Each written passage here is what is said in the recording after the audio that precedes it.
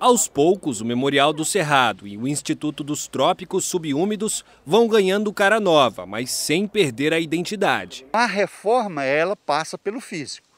Só que também a reforma passa dentro da concepção nova da universidade, no sentido de ter colocado o ITS dentro de um contexto novo extensionista. Então, ah, vamos oferecer uma oficina interna aqui na, na aldeia? Vamos.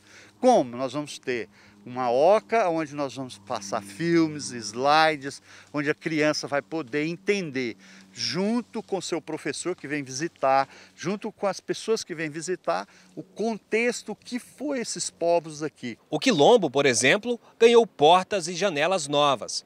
No espaço da aldeia indígena, a estrutura de palha do teto está sendo trocada.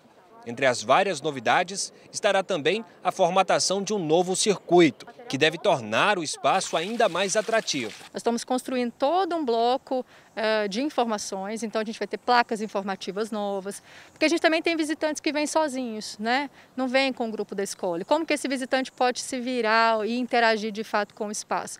Então é compor com informações, com novos produtos, uh, com exposições temáticas, nesse caso aqui dentro das casas de forma particular, né?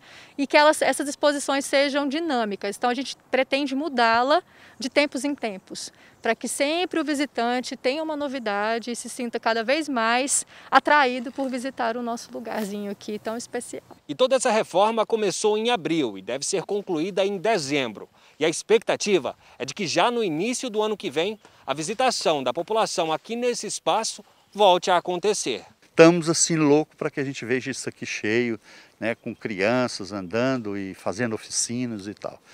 Se Deus quiser, janeiro, final de, de começo de fevereiro, estaremos já recebendo o pessoal.